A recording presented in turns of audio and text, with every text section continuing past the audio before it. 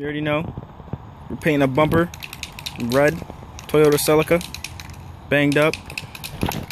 Ozzy Prime Auto. Opening soon. That's the owner himself. First thing that he did was he put down a base coat. Really light. Not too. Yeah. I'm in commentary mode. That's what I do for my YouTube videos. First, put down a a really light first coat. You don't want it too thick, or else then it wouldn't look right. So now he's going over with his second coat. He's probably gonna finish up with a third afterward after this dries a little bit. But you can see it has like the shiny gloss, which is crazy. It's not even buffered yet. He's still painting.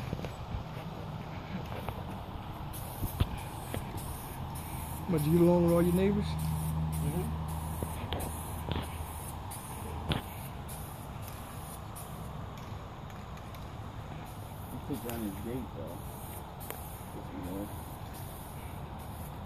Tip number one, ease, even coats. You want to glob one side, or else they won't look right.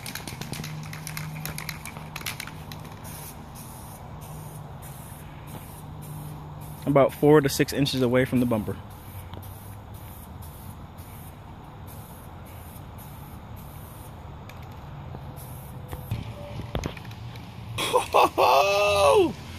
Coat number two of the bumper. Let it dry for give, give it about Yeah. a half hour. We only about a half hour. I'm gonna get the grill out. About a half hour for this to dry. We'll come back.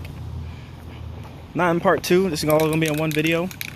We're at about two Still minutes. something left in there. Yeah, still something left in there. let's go Anybody make only need one can. I mean, we'll use both of them.